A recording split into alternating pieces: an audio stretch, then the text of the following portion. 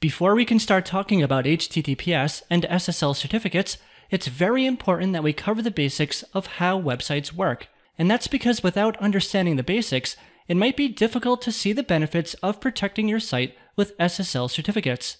Don't worry, it's only going to take a few minutes. The modern day internet is based on a number of different protocols, but the two that we care about for this course are HTTP and HTTPS.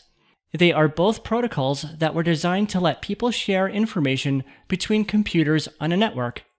All you really have to know is HTTP and HTTPS both have a request and a response. You could say it's a client server architecture. The easiest way to explain this is by showing you, so let's check it out. Let's say that you opened up a web browser and you went to google.com. Your web browser is the client, and when you press enter to visit google.com, you are sending a request to one of Google's web servers. Google's web server knows what to do because you've sent that request using a specific protocol such as HTTP or HTTPS. Google's web server sends a response back to your web browser, which includes a number of different things. But the thing that we care about is the information associated to Google.com's website. In this case, it's a bunch of HTML that your web browser knows how to deal with. And technically, it doesn't have to be HTML, but that's what Google's homepage returns back to you. In other cases, it could be an image, zip file, etc. So, to recap, your web browser client sends a request to a web server, and it replies back with a response that your client understands. That's essentially how websites work, but I've removed a very big piece of the puzzle, and I mean huge. The thing is, your web browser and Google's web server are not directly connected. The information flowing from Google's web server might need to pass through 10, 15, or even 50 different servers on the internet before it reaches your web browser. It really depends where you live, and this number will change based on the website you're trying to access.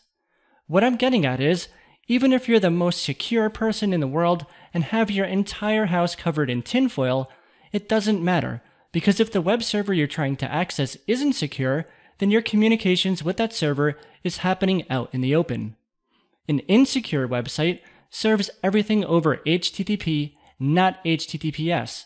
That means your login information and other sensitive data is flowing across the internet in plain text, and anyone listening can read it.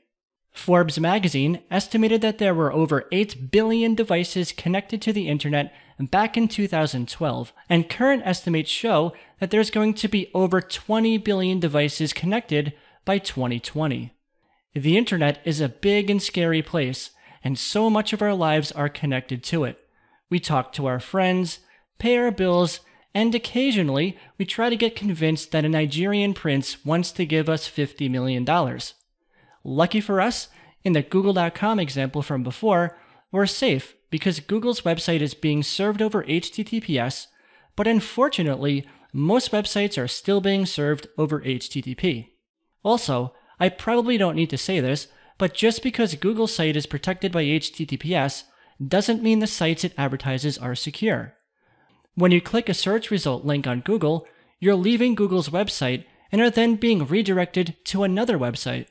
This may be served over HTTP or HTTPS. It depends on the site. I don't know about you, but I won't even sign up on a website that doesn't offer a secure connection, and you can forget about me paying for something online without it being over HTTPS. In fact, I'm very skeptical to even browse anonymously on websites that are not protected by HTTPS because I've been a software developer for about 20 years. I know how important security is and I know that nowadays there's no excuse for not using HTTPS.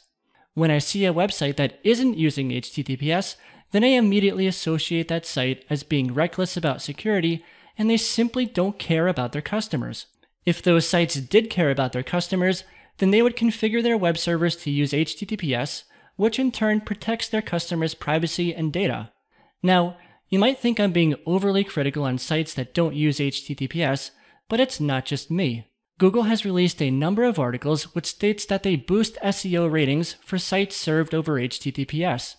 If you're into SEO, you know that Google doesn't release too much information about their ranking algorithm, so no one really knows how much effect it has. But one thing is for certain HTTPS is a ranking signal, and if you're not using HTTPS, then you're just giving your competitors an unnecessary advantage.